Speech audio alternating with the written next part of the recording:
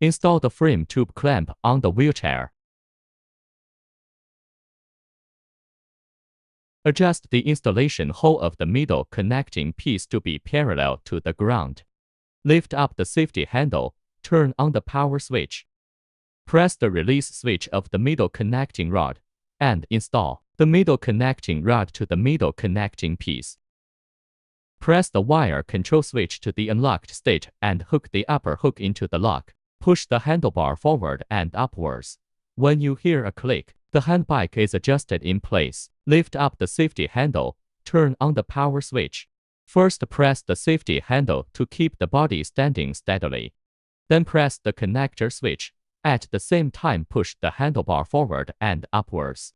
Finally lower the handlebar so that the front wheel and foot support of the wheelchair touch the ground.